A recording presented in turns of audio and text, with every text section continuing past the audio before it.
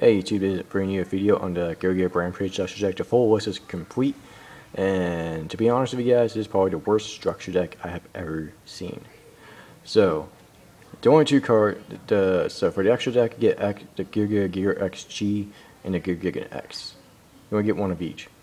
For traps, you get Rollout, Rare Metalmorph, Metalmorph Stronghold, and Moving Fortress, and those are all for the other traps, which is Pathetic, and Gear Gear, which is the usual.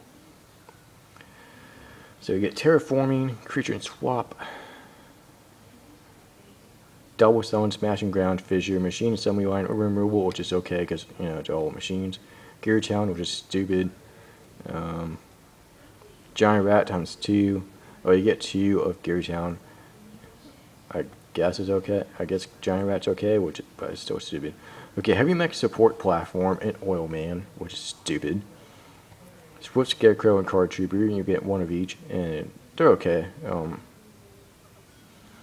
Minefield Driller, Jumbo Drill, Ancient Gear Gadjiltron, Ancient Gear Gadjiltron Chimera, Yellow, Yellow Gadget, Red Gadget, Green Gadget, times two of each. Gear Gear Armor, Gear Gear Arsenal, Gear Gear um, Accelerator, only one of each.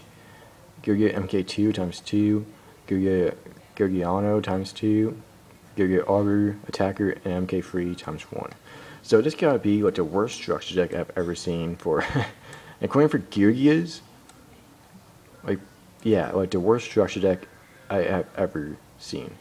Like, there's only like two good reprints, which is, actually just want, probably only one good reprint, which is, um, Swift Scarecrow, that's it. Everything else is just terrible. Like, what was Konami thinking? Like like you're planning, planning to bring out a structure deck, which is for gear use, and, and the TCG decides to give us a bunch of crap. Wow. well, I hope you guys agree with this, um, but I believe it is the worst structure deck ever. So remember to like and subscribe guys, and as you say, they will say, sign off. Peace.